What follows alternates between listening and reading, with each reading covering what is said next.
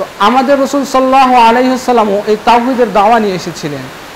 এই তাওহিদের দাওয়া নিয়ে আসার কারণে তার উপর বিভিন্ন সময় বিভিন্ন বাধা বিপত্তি এসেছে।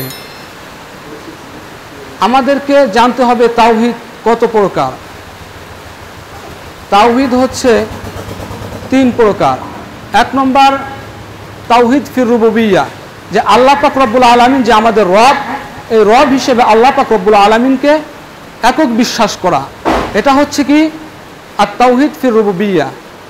দ্বিতীয় হচ্ছে আর তাওহিদ ফিল উলুহুইয়া যে আল্লাহ পাক রব্বুল আলমিনের, আল্লাহ পাক রব্বুল আলমিন যে আমাদের ইলাহ, সেই ইলাহকে একক বিশ্বাস করা। তৃতীয় নম্বর হচ্ছে তাওহিদুল আসমা উসিফাত যে আল্লাহ পাক রব্বুল আলমিন এর যতগুলো গুণবলী নাম আছে এগুলোর ক্ষেত্রে আল্লাপাক রব্বুল আলমিনের প্রতি একত্ববাদের বিশ্বাস করা।